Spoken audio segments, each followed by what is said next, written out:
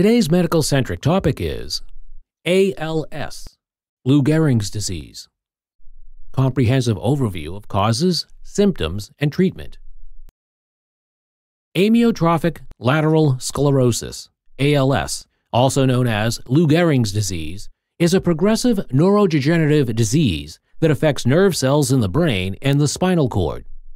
This guide provides a thorough overview of ALS, including its causes, symptoms, and treatment options, helping to increase understanding and awareness of this challenging condition.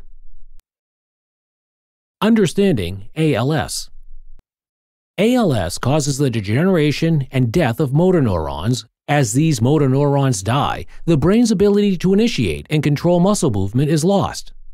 Patients may ultimately lose the ability to speak, eat, move, and breathe. Causes of ALS Genetic factors. Approximately 5 to 10% of cases are familial, meaning they are directly inherited. Mutations in specific genes like C9orf72 or SOD1 are linked to ALS. Environmental factors. While the exact environmental factors are not entirely understood, some studies suggest potential links to heavy metals, pesticides, and military service. Unknown causes. Most cases of ALS are sporadic, meaning they occur at random with no clear familial link or known cause. Symptoms of ALS Early symptoms include muscle weakness or stiffness, slurred speech, and difficulty performing routine tasks like buttoning a shirt. Progression Symptoms gradually spread, leading to more severe muscle weaknesses and wasting. Twitching and cramping of muscles, especially those in the hands and feet, are common. Advanced symptoms.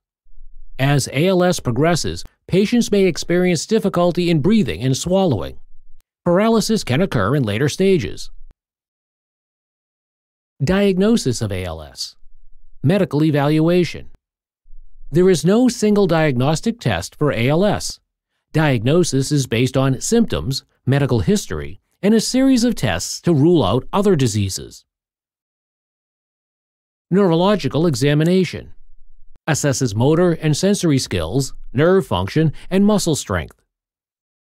Imaging and other tests, MRI scans, blood tests, and electromyography, EMG, which measures electrical activity of muscle fibers, can help confirm the diagnosis. Treatment and management. Medication. Riluzole and edaravone have been shown to slow the progression of symptoms slightly and extend survival. Physical therapy helps maintain muscle strength and function. Speech therapy assists with communication difficulties as speech muscles weaken. Nutritional support ensures proper nutrition as swallowing becomes challenging. Respiratory care includes devices to assist breathing as respiratory muscles weaken. Living with ALS adaptive equipment. Wheelchairs, walkers, and other aids can help maintain independence. Home modification Adjustments may be necessary to accommodate mobility and care needs. Support networks. Connecting with ALS associations and support groups can provide valuable resources and emotional support for patients and their families. Thank you for watching our video. Please do not forget to like and share the video. Also, please subscribe to the channel to stay updated on our latest videos.